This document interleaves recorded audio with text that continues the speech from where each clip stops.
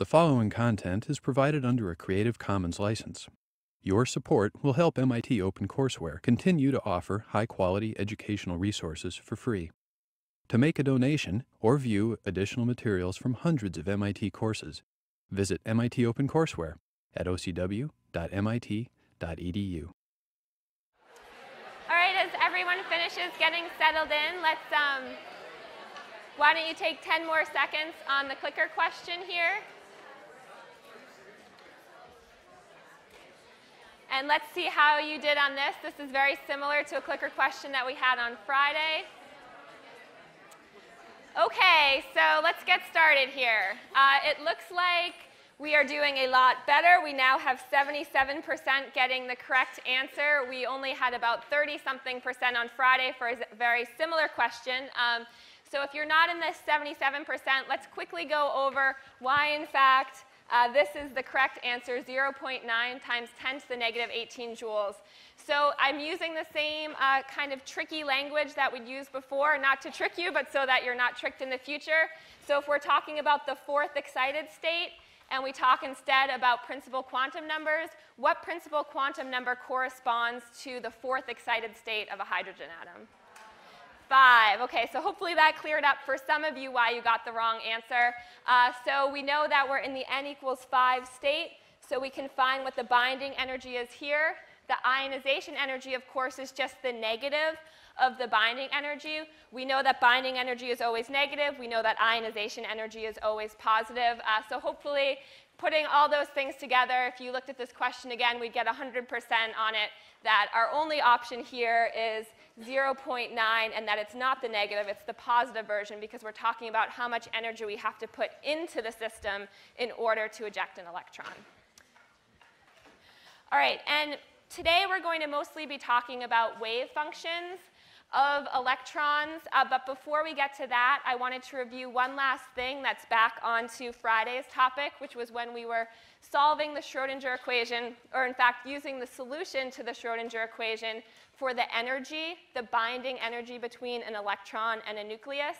And when we talked about that, what we found was that we could actually validate our predicted binding energies by looking at the emission spectra of the hydrogen atom, which is what we did as the demo, or we could think about uh, the absorption spectra as well. And what we predict as an energy difference between two levels, we know should correspond to the energy of light that's either emitted if we're giving off a photon, or that's absorbed if we're going to take on a photon and jump from a lower to a higher energy level. So we came up with two formulas which are similar to the two that I'm showing here. The formula tells us the frequency of the light that's emitted or absor absorbed based on the energy difference between the two levels that we're going between, that the electron is transitioning between. You'll notice that there's a little bit of a difference in these equations here from the ones from the other day, which is that you have this z squared value in there. So these are both called Rydberg formulas for figuring out the frequency of light emitted or absorbed. And before we were looking at the Rydberg formula specifically for the hydrogen atom. And now that we have this z squared term in, in the formula here, we're now talking about absolutely any one electron atom. And it should make sense where we got this from because we know that the binding energy, if we're talking about a hydrogen atom, what is the binding energy equal to? Negative Rydberg over what? Yeah, so it's negative Rydberg constant over n squared. But if we're talking more generally about any one electron atom, now we have a more general equation for the binding energy, which has this z squared term out in front of it, right? So it's negative z squared times the Rydberg constant all over n squared. So essentially, when we're talking about these equations up here, all we're doing is talking about the regular Rydberg formulas, but instead we could go back and rederive the equation for any one electron atom, which would just mean that we put that z squared term in the front. So when you solve certain types of problems, such as problems later on in the second half of your p-set, if you need to talk about the frequency of light emitted or absorbed for a one electron atom, such as lithium plus 2, for example, then you would need to plug in Z. And remember, the Z value for lithium would just be 3, uh, the z value for hydrogen, of course, is 1, and that's why this term falls out of that equation when we're talking specifically about the hydrogen atom. So just to finish our review of what we talked about on Friday, when we're thinking about transitions between two different states, and we're talking about a situation where the final state, the n final, is greater than the n initial, in this case, are we talking about absorption or are we talking about emission? Hearing a little bit of a mix here. Uh, in fact, we're talking about absorption. When n final is greater than n initial, we start at this lower energy state and go up. That means we need to absorb a photon. We have to take in energy. Specifically, we have to take in this exact amount of energy in order to bump the electron up to the higher energy level.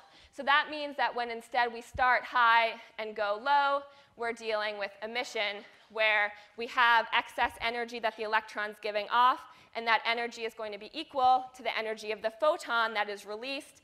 And of course, through our uh, equations, we know how to get from energy to frequency or to wavelength of the photon that we're talking about. All right, so that's all I'm going to say today in terms of solving the energy part of the Schrodinger equation. So what we're really going to focus on is the other part of the Schrodinger equation today, which is solving for psi. So we're going to solve for psi, and before that, we're going to figure out that instead of just that one quantum number n, we're going to have a few other quantum numbers that fall out of solving the Schrodinger equation for what psi is. We're also going to talk more about what psi actually means. Uh, when we first introduced the Schrodinger equation, what I told you was think of psi as being some representation of what an electron is.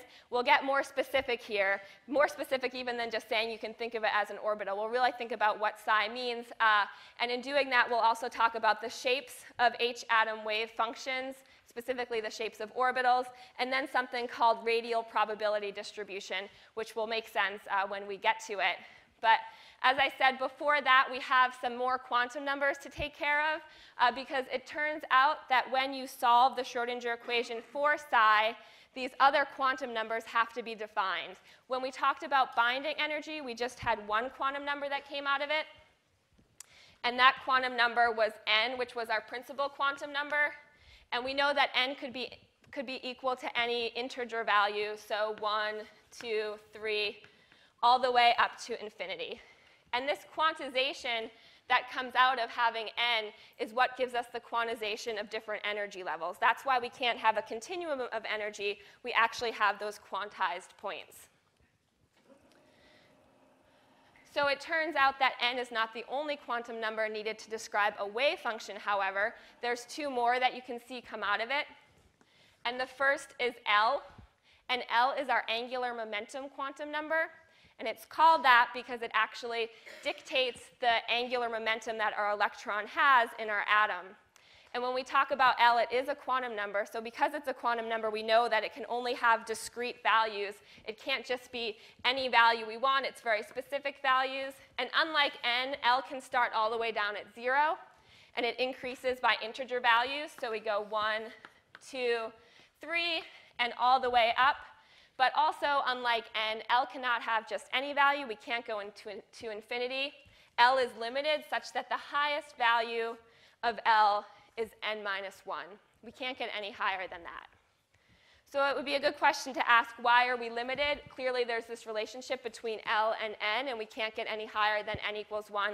We can actually think about why that is. And the reason is because L is our angular momentum. It describes the angular momentum of the electron. So another way to think about that is just the rotational kinetic energy of our electron.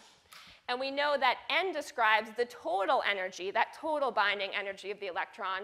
So the total energy is going to be equal to potential energy plus kinetic energy. So if we say that L is just talking about our kinetic energy part, our rotational kinetic energy, and we know that electrons have potential energy, then it makes sense that L, in fact, can never go higher than N. And in fact, it can't even reach N because then we would have no potential energy at all in our electron, which is, which is not correct. So that's the second quantum number.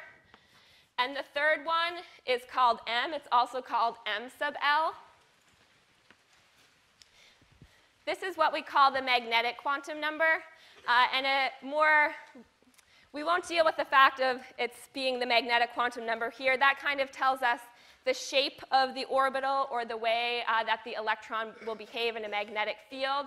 Uh, but what's more relevant to thinking about the limits of this number is that it's also the z component of the angular momentum. So since it's a component of the angular momentum, that means that it's never going to be able to go higher than L is. So it makes sense that, for example, it could start at 0 and then go all the way up to L. But since it is a component, it can have a direction too, so it can go up between negative L and positive L. So the allowed values for m sub L are going to be negative L all the way up to 0 and then up to positive L. So if we think of just an example, we could say that for L equals 2, what would be our lowest value of m sub L? Yep, so m sub L could equal negative 2, negative 1, 0, 1, or 2. So we could have five different values of m sub L. So those are our three quantum numbers. So if, in fact, we want to describe a wave function, we know that we need to describe it in terms of all three quantum numbers and also as a function of uh, our three positional our three positional factors, which are r, the radius, plus the two angles, theta and phi. So we have now a complete description of a wave function that we can talk about. So we can think about what is it that we would call the ground state wave function. We knew from Friday when we talked about energy that ground state was that n equals 1 value. That was the lowest energy. That was the most stable place for the electron to be. But now we need to talk about L and M as well. So now when we talk about a ground state in terms of a wave function, we need to talk about the wave function of 1, 0, 0, and again as a function of r, theta, and phi. So this is our complete description of the ground state, um, the ground state wave function.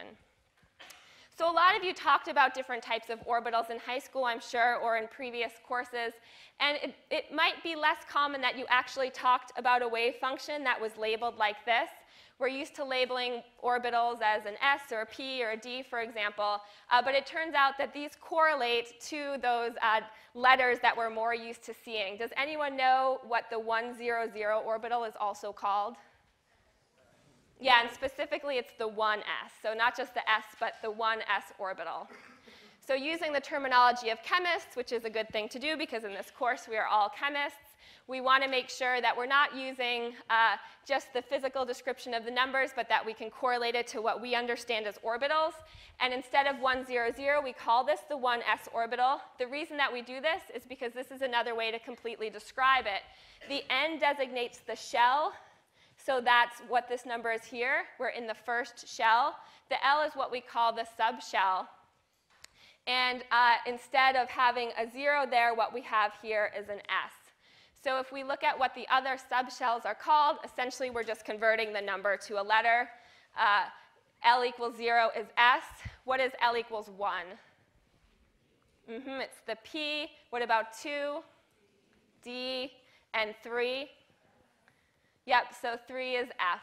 So these names, uh, they don't really make any sense if we're looking at them, why they're called S, P, D, and F. And it turns out that it comes from spectroscopy terms that are pre-quantum mechanics, where, for example, this is called the sharp line, I think the principal, the diffuse, and the fundamental. It doesn't even make sense now. They're not they're not used in spectroscopy anymore, uh, but this is where the names originally came from, and they did stick. So we, being chemists, will call it 1s instead of 10. In addition to having another name to denote L, we also have another name uh, for the M designation here. So for example, when L is equal to 0, we're going to find that we have to call, uh, we have to specify what M is as well. Whoops, that went a little higher than I wanted. All right, so when we have, for example, L equal to 1, oops, what kind of orbital is this? It's a p orbital. And for example, we could also, in this case, have m is equal to 0.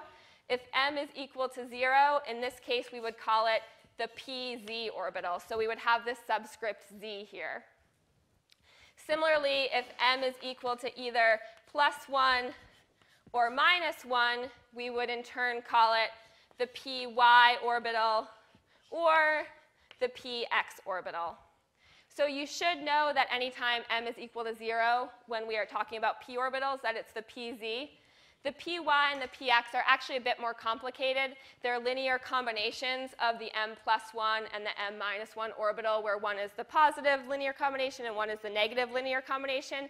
You're not responsible for that. You're not responsible for correlating plus 1 to y, minus 1 to x. Just know that if you have plus or minus 1 for our class, you can call it either x or y. Uh, either is fine because it's a little bit more complicated than just the one-to-one uh, translation between, for example, m equals 0 and having a pz orbital. All right, so let's look at some of these wave functions and make sure that we know how to name all of them in terms of orbitals and not just in terms of their numbers. Once we can do that, we can go on and say, okay, what actually is a wave function? But first, we need to know how to describe which ones we're talking about. So we saw that our lowest, our ground state wave function is 1, 0, 0. We can call that psi 1, 0, 0 is how we write it as a wave function. We said that's the 1s orbital. We also know how to figure out the energy of this orbital. And we know how to figure out the energy using this formula here, which was the binding energy, which is negative RH and instead of n, we can plug it in because n equals 1, so over 1 squared, and the actual energy is here.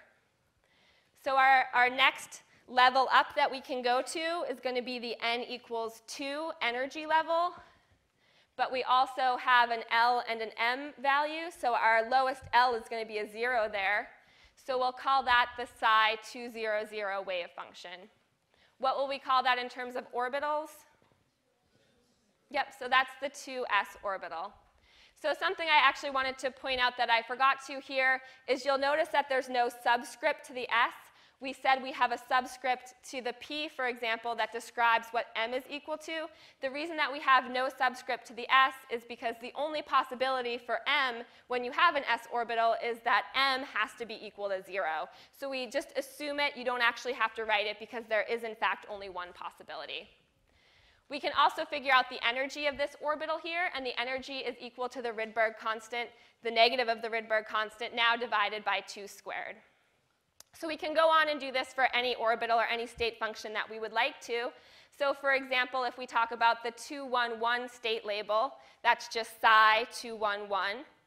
What in this case would be our orbital? 2p what? Okay, good. I heard mixed answers, which is correct. so you can either write 2px or 2py. Whichever one you want is fine. And again, you'll notice that our energy is absolutely the same for an electron in the 2p uh, x orbital and in the 2s orbital. So that's true for a hydrogen atom. It doesn't matter if you're in a p or an s orbital, their energies are the same. Then we can also talk about the 210 state function, which would be psi 210. What is this orbital? Yep, and there's only one correct answer here, which is 2pz. Is the uh, energy going to be the same or different as up here? It's going to be the same energy. Again, the reason for that is because the energy only depends on the n value here. It doesn't depend on L or on M. Uh, so finally, if we talk about our last example of when n is going to be equal to 2, we can have 2, 1 for L, and then minus 1 for M. We can rewrite this as psi 2, 1, negative 1. And then our orbital is going to be just the opposite of whatever we said it was up here. So if you said 2px the first time, say 2py this time. And again, our energy is going to be the same, where we again only depend on the n value. All right, so hopefully we're pretty comfortable naming any type of wave function using the chemist's terminology. Uh, let's switch to a clicker question and just confirm that that is in fact true. So what's the corresponding, the corresponding orbital if we talk about this state, 510?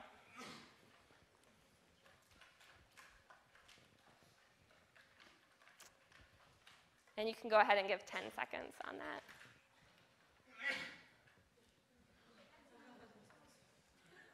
I'll have to try these uh, new timer functions for you. I didn't realize they were. Okay. All right, 77%.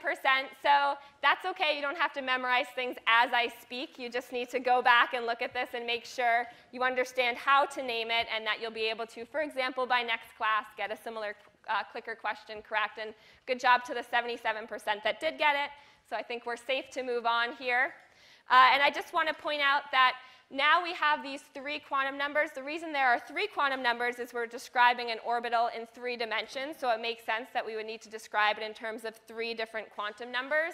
And the complete description, as I said, is from N, L, and M. And when you talk about N for an orbital, it's talking about the shell. That shell is kind of what you picture when you think of a classical picture of an atom where you have one energy level, the next one is further out, the next one's further away. Uh, that's kind of your shell that we're discussing. L is the subshell here. And then uh, we have M, which is finally the complete description of the orbital. And what you can see is that for any n that has an L equals 0, you can see here how there's only one possibility for an orbital description. And that's why we don't need to include uh, the M when we're talking about an s orbital. The other thing that we know, which is what we were just discussing when we were going through the table, is how this all relates to energy. And I want to really highlight here, we're talking about for a hydrogen atom, orbitals with the same n value have the same energy.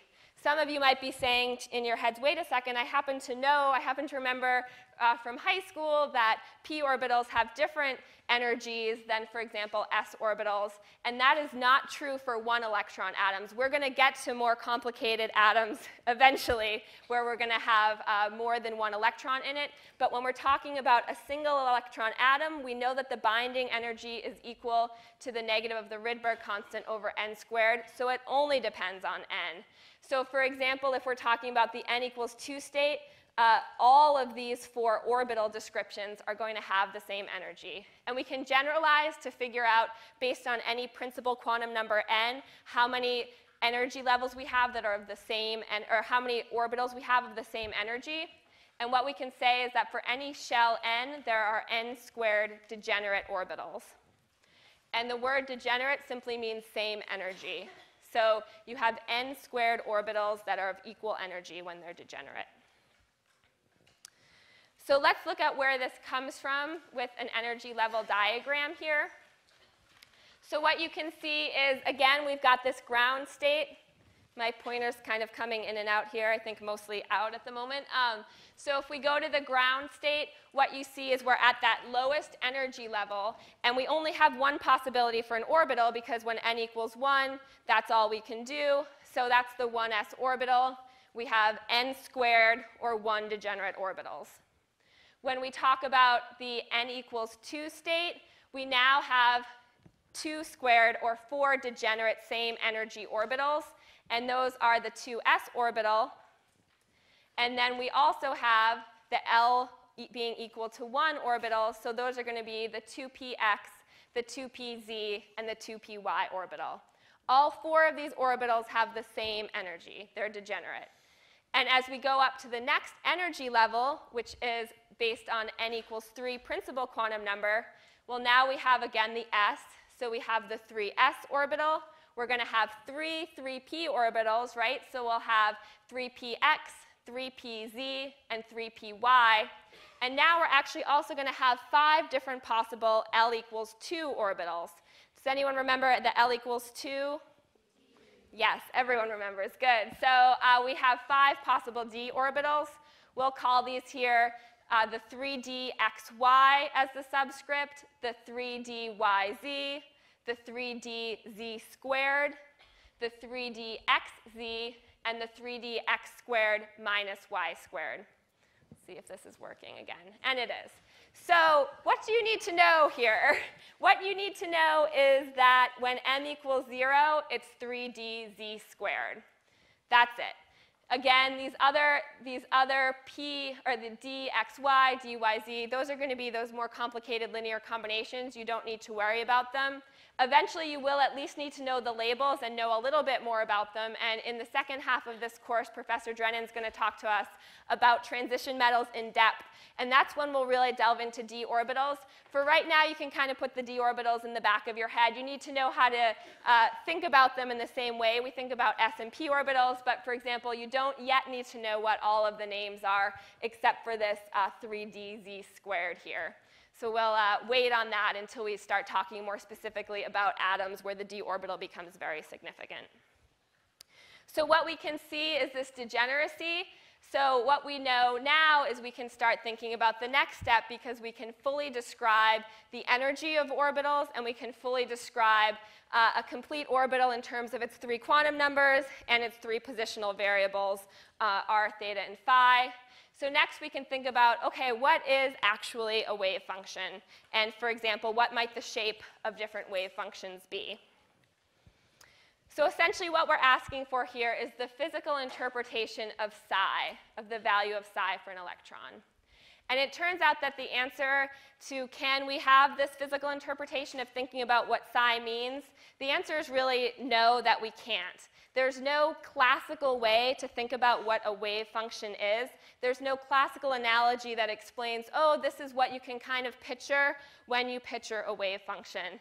And that's somewhat inconvenient because we're working with wave functions, uh, but it's a reality that comes out of quantum me mechanics often, which is that we're describing a world that is so much different from the world that we observe on a day-to-day -day basis that we're not always going to be able to make those one-to-one -one analogies.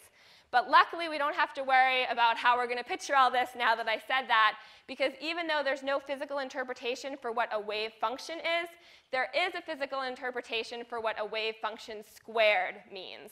So when we talk about a wave function squared, we're taking the square of the wave function, any one that we specify between n, l, and m, at any position that we specify based on r, theta, and phi. And if we go ahead and square that, then what we get is a probability density, and specifically, it's the probability of finding an electron in a certain small defined volume away from the nucleus. So it's a probability density. The important point here is it's not just a probability, it's a density, so we know that it's a probability divided by volume. And the person we have to thank for actually giving us this more concrete way to think about what a wave function squared is, is Max Born here. Uh, and actually, after the Schrodinger equation first was put forth, people had a lot of discussions about how is it that we can actually interpret what this wave function means. And a lot of ideas were put forth, and none of them worked out to match up with observations until Max Born here came up with the idea that we just square the wave function, and that's the probability density of finding an electron in a certain defined volume. Uh, and it's very helpful because it gives us a way to think about it. We can't actually go ahead and derive this equation of the wave function squared because it's no one ever derived it. It's just an interpretation, but it's an interpretation that works essentially perfectly. Ever since this was first proposed, there has never been any observations that do not coincide with the idea, that do not match the fact that the probability density is equal to the wave function squared. Uh, so also about Max Born, just to give you a little bit of a trivial pursuit type knowledge, he not only gave us this relationship between wave function squared, he also gave us Olivia Newton-John. Uh, this is her grandfather. I don't know if you can see from the eyes. I feel like there's a little bit of, of resemblance there. Uh, so I don't know what she grew up hearing about when she went to her grandparents' house, but it might have been wave functions squared. Um, so little, little tidbit of knowledge for you that's somewhat trivial. Uh, then back to the non-trivial knowledge that is not trivial at all, in fact, is, okay, how do we think about this probability density now that we have a little bit more of an idea? We know that it's uh, a density, it's not a, an actual probability. So one way we could look at it is by looking at this density dot diagram, where the density of the dots correlates to the probability density. So what you see uh, is at near the nucleus, the density is the strongest, the dots are closest together. As you get far away from the nucleus, the dots get farther and farther apart, meaning the probability density at those volumes far away from the nucleus is going to be uh, quite low, eventually going to almost zero, although it turns out that it never goes to exactly zero. So if we're talking about any orbital or any atom, it never actually ends, it never goes to zero. Uh, but it turns out the probability is only significant within one angstrom. So you can either say that electrons are very, very tiny or that they're never ending, and both are pretty accurate ways to think about uh, what an atom is. So that's probability density. Uh, but in terms of thinking about it in terms of actual solutions to the wave function, let's take a little bit of a step back here. We, I have yet to show you the solution to a wave function for the hydrogen atom. So let me do that here, and then we'll build back up to probability densities. And it turns out that if we're talking about any wave function, we can actually break it up into two components, which are called the radial wave function and the angular wave function. So essentially, we're just breaking it up into two parts that can be separated in the part that is only dealing with the radius. So it's only a function of the radius of the electron from the nucleus. And we, we abbreviate that by calling it r, which is, is specified by two quantum numbers, n and l, as a function of little r, radius. And we have the angular wave function, which is specified by L and M, and it's a function of the two angles when we're describing the position of the electron, so theta and phi. So let's look at what this actually is. For uh, what we're showing here is a 1s hydrogen atom. If you look in your book, there's a whole table of different solutions to the Schrodinger equation for several different uh, wave functions. So this is the 1s. You can look it up if you're interested for the 2s or 3s or 5s or whatever you're curious about. Uh, but what I'm going to show you here is the 1s solution.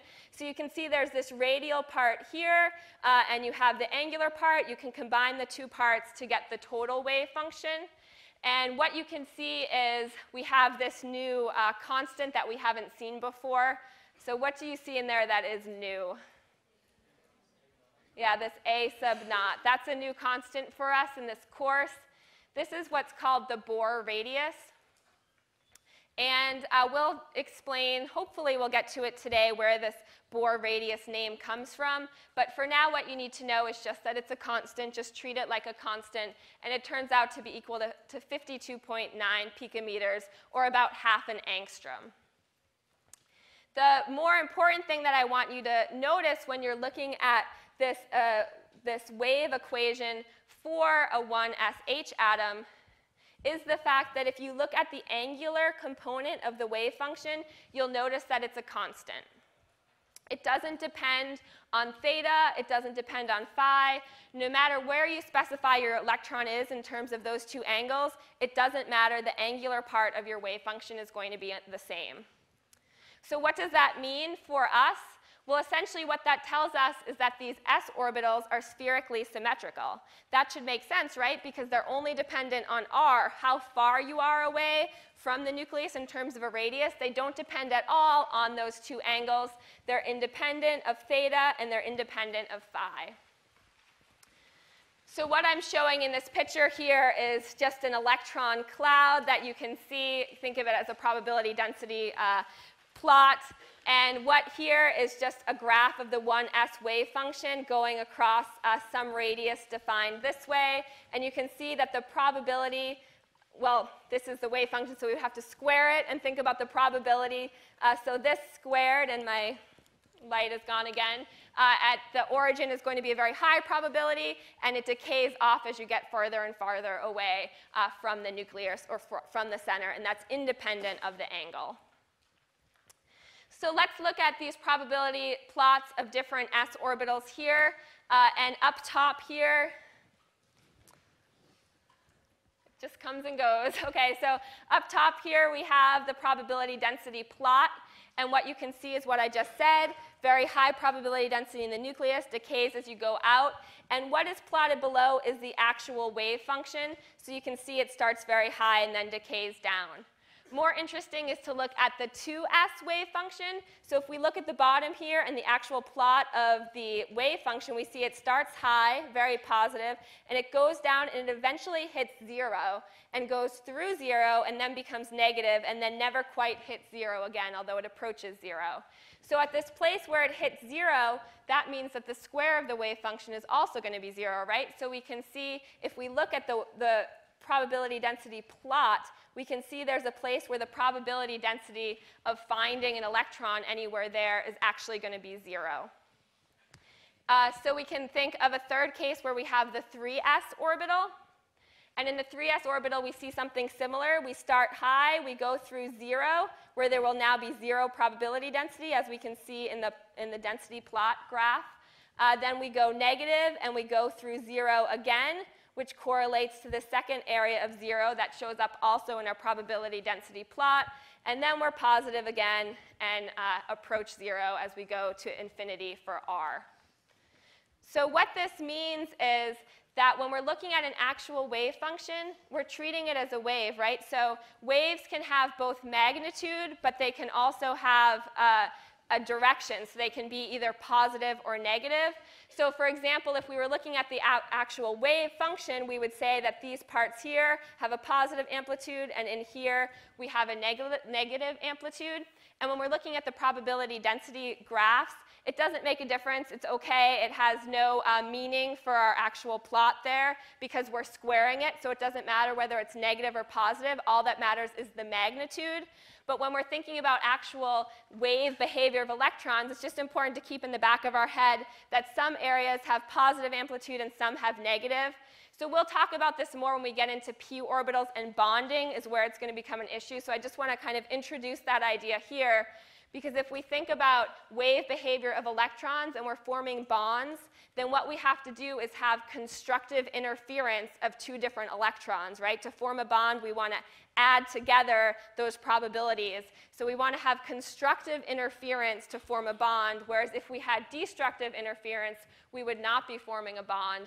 So that's where you have to think about whether it's positive or negative. You don't have to think about it right now, but you might have heard in high school talking about p orbitals, the phase. Sometimes you mark a p orbital as being a plus sign or a negative sign. Did any of you do that in high school at all? A little bit, yeah. So that's having to do with the actual wave function. So that'll become more relevant later, bonding, actually quite a couple lectures down the road. Uh, but I just want to introduce it here while we do, in fact, have the wave function plots up here. But a real key in looking at these plots is where we, in fact, did go through zero and have this zero probability density. We call that a node. And a node, more specifically, is any value of either r, the radius, or the two angles for which the wave function, and that also means the wave function squared, or the probability density, is going to be equal to 0. So we can see in our 1s orbital, how many nodes do we have?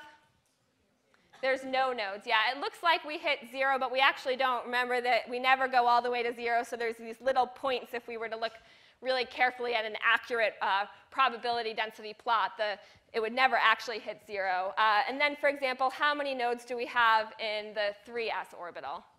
Two, that's correct. So we have two nodes in the 3s orbital.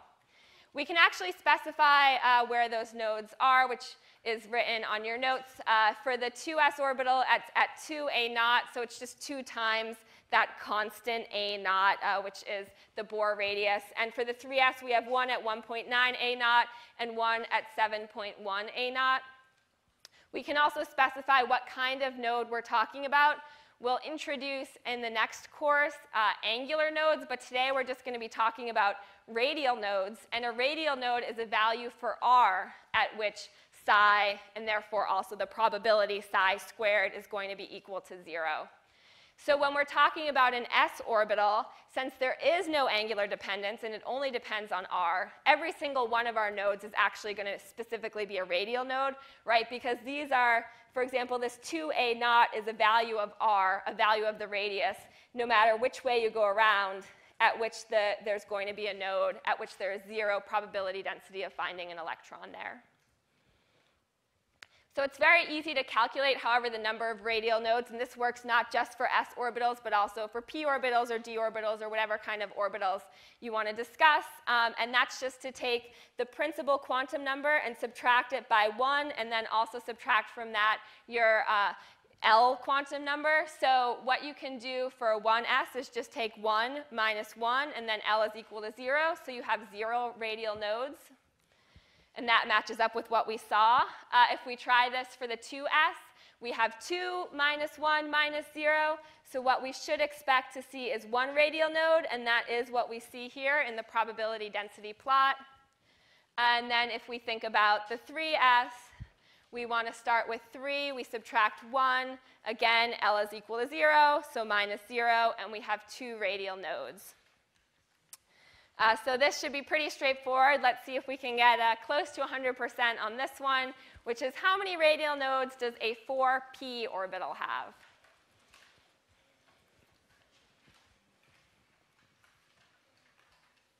Let's give 10 seconds on that, make you think fast here.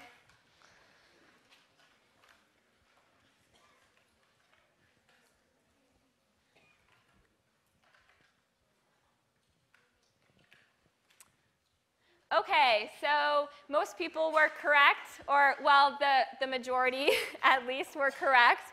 And seeing that it's a 4p has two nodes, let's just write this out since not everyone did get it correct. So if we're talking about a 4p orbital, and our equation is n minus 1 minus l, the principal quantum number is 4, 1 is 1. What is L for a p orbital? 1. So I tricked you a little, I guess. I didn't put an S up there, and that's what we'd been talking about, so that was probably the issue. But what we find is that we have two radial nodes. All right, so we can switch back to our notes here. So doing those probability density dot graphs, we can get an idea of the shape of those s orbitals. We know that they're spherically symmetrical. Uh, we're not going to talk about p orbitals today. We're going to talk about p orbitals exclusively on Friday. And as I said, d orbitals you'll get to with Professor Drennan. Uh, but we can also think at when we're talking about the wave function squared, what we're really talking about is the probability density, right? The probability in some volume. But there's also a way to get rid of the volume part and actually talk about the probability of finding an electron at some certain uh, area in, within the, the atom. And this is what we do using probability density or radial probability distribution graphs. And what that is, is the probability of finding an electron in some shell where we define the thickness as dr, some distance r from the nucleus. So think about what we're saying here. We're saying the probability of finding an electron at some distance from the nucleus in some very thin shell that we describe by dr. So if you think of a shell, you can actually just think of an eggshell. That's probably the easiest way to think of it, where the yolk, if you really maybe make it a lot smaller, might be the nucleus. And let's also make our egg perfectly symmetric and perfectly round. Uh, but still, when we're talking about the radial probability distribution, what we actually want to think about is what's the probability of finding the electron in that shell? Think of it as that eggshell part. So we can do that by using this equation, which is for s orbitals, where the radial probability distribution is going to be equal to 4 pi r squared times the wave function squared dr. That should make sense to us because when we talk about when we talk about a wave function, we're talking about a probability divided by a volume because we're talking about a probability density. So if we actually go ahead and multiply it by the volume of our shell, then we end up just with probability, which is kind of a nicer term to be thinking about here. So uh, of course, if we're talking about a perfectly spherical shell at some distance thickness dr, we talk about it as 4 pi r squared dr. So we just multiply that by the probability density. We can graph out what this is, where we're graphing the radial probability density as a function of the radius. And what you see is that at 0, you start at 0. And so the radial probability density at the nucleus is going to be zero, even though we know the probability density at the nucleus is very high. That's actually where it is the highest. The reason in our radial probability distributions we start, maybe this one will do it. No. Okay. The reason if you look at the zero point on the radius that we start at zero is because we're multiplying the probability density by some some volume, and when we're not anywhere from the nucleus, that volume is defined as zero. So it's a little bit artificial that we're seeing that zero point there. So actually, I want you to go ahead in your notes and circle that zero point and write not a node. This is not a node because a node is where we actually have no probability density. So this, where we start at zero, is not a node, is the first thing to point out. Um, and as we get further and further from the radius, the volume we're multiplying it by actually gets bigger and bigger because you can see how the volume of that little thin shell is going to get larger and larger as you get further away. So there's some, there's some distance where the probability of actually finding an electron there is going to be your maximum probability. And that's what we label as R sub MP, or your most probable radius. This is the point at which your probability is highest for finding an electron. This is equal to A sub naught for a hydrogen atom, and we remember that that's just our Bohr radius, which is 0.529 angstroms. And basically what that means is you can actually find an electron anywhere going away from the nucleus, but you're most likely to find it, you have the highest probability at a distance of a, sub, at a naught, or the Bohr radius. So I said I'd tell you a little bit more about where this Bohr radius came from, and it came from a model of the atom that predated quantum mechanics, and Niels Bohr uh, is who came up with the idea of the Bohr radius, and here he is hanging out with Einstein, so he had some pretty good company that he kept. And uh, what you need to remember when we're thinking about this model of the atom is that in 1911 it had already been discovered that we have an electron and we have a nucleus, and there needs to be some way that those two hang together. But it was not for another 15 years that we actually had the Schrodinger equation that allowed us to understand the interaction fully between the electron and the nucleus. So all that Bohr, for example, had to go on at this point was a more classical picture of the atom, as you can see on the left side of the screen there, which is the idea that the electron's actually somehow just orbiting the nucleus. And even though he could figure out that this wasn't possible, he still used this as a starting point. And what he did know was that these energy levels that were within a hydrogen atom were quantized. And he knew this the same way that we saw in the last class, which is when we viewed the different spectra coming out from the hydrogen. And we also did it for neon. But we saw in the hydrogen atom that it was very discrete energy levels that we could observe. He knew the same thing that had been observed by that point. So what he did was kind of impose a quantum mechanical model, not a full one, just the idea that those energy levels were quantized onto the classical picture of an atom that has a discrete orbit. And what he came out with when he did some calculations is that there's the radius that he could calculate was equal to this number a sub naught, which is what we call the Bohr radius. Uh, and it turns out that the Bohr radius happens to be the radius most probable for a hydrogen atom. And the reason we won't talk anymore about this Bohr model is because, of course, it, it's not correct, so we're not going to spend too much time on it here. Uh, but we can see, for example, one reason or one way in which it is not correct. Because what it tells us is that we can figure out exactly what the radius of an electron and a nucleus are in a hydrogen atom. That's a deterministic way of doing things. That's what you get from classical mechanics. But the reality that we know from our quantum mechanical model is that we can't know exactly what the radius is. All we can say is what the probability is of the radius being at certain different points. So that's a more complete quantum mechanical picture of what is going on here. Um, so if we superimpose our radial probability distribution onto the Bohr radius, we see it's much more complicated than just having a discrete radius. We can actually have any radius, but some radii just have much, much smaller probabilities of actually uh, being significant or not. Uh, so I think we're a little bit out of time today, but we'll start next class with thinking about drawing radial probability distributions of more than just the 1s orbital.